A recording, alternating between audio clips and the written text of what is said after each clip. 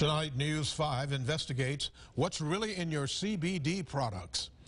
As gummies, oils, and other items get easier to come by, experts want to make sure what you're getting is safe. News 5's Brianna Hollis is live outside of Lotus CBD in Foley. And Bree, what are the main concerns here? Industry experts are worried that people just aren't getting the right information, that someone's going to be interested, go pick up a product at a gas station like I did with this one, but then not ask any questions about it. I mean, if you're going to buy something for your health, you might as well go to someone who knows what they're doing.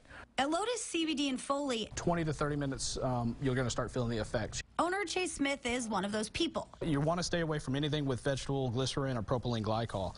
That's not just some scientific gibberish. He has the papers to prove it. Usually to show them that they're getting what they're asking for, they're paying for what they're getting, and that the product has actually been tested by a third party. It's not actually based on my opinion or the company's.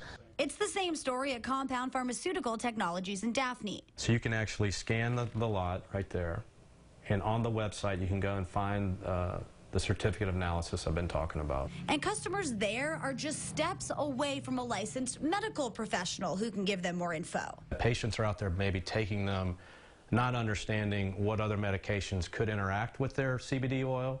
Um, and so they need to get a licensed professional um, opinion for that. Now, we picked up some CBD vaping oil from a gas station and asked both Smith and Hart to read the fine print. The first two ingredients are actually vegetable glycerin and propylene glycol. Do those two words sound familiar? Well, it's because you heard them about 30 seconds ago. They're labeled VG and PG, and before we even showed him the product, Smith told us those are two things you want to avoid when buying CBD. Both of those can lead to what's called popcorn lung, which is a swelling of the, um, the lungs and the interior. So they really getting good professional guidance on what to do. Is that convenience store employee uh, going to be able to answer the questions that you need answered?